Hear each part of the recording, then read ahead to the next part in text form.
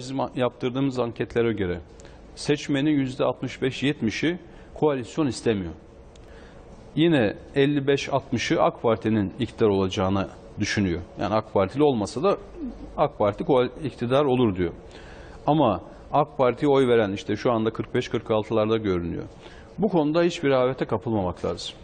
Yani öbür türlü e, Türkiye büyük riskler altına girer ve e, hiç kimse bunu istemez. Yani olumsuz şeyler olsun istemez ve o Türkiye'de yani bunların dönmeye çalıştığı Türkiye'de biraz önce dediğim gibi herkes her şeyini kaybeder.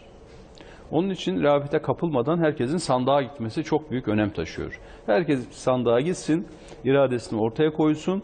Türkiye'nin geleceğinde ben de söz sahibiyim. Bu oyunları ben bozacağım desin.